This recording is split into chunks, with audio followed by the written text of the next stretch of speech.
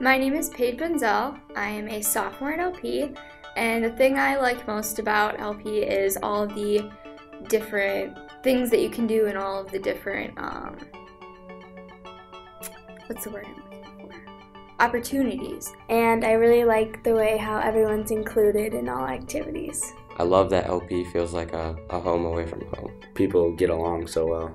Not just students, but like students, teachers, the relationship between everybody. There's always an opportunity to do something new. Everyone is one. Like we all, I don't know, like the Cavalier family, we're all one.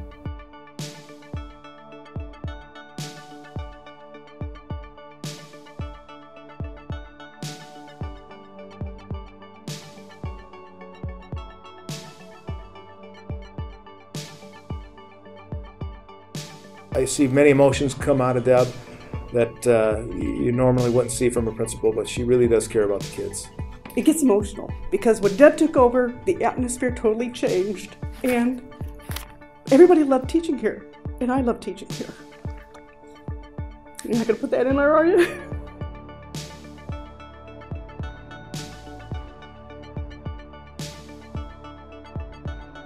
She's definitely my inspiration.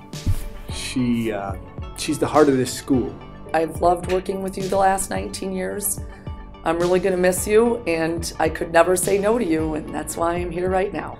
Her desire to do what's right for kids, I guess, is is what drives me to do uh, as much as I can for kids. Mrs. Nelson, please don't retire. We need you to stay here at LP High School. The students need you, the staff, the faculty. Work another 10 years. Mrs. Nelson's just a special person. She's got this innate ability to relate to anyone um, kids, adults, young adults.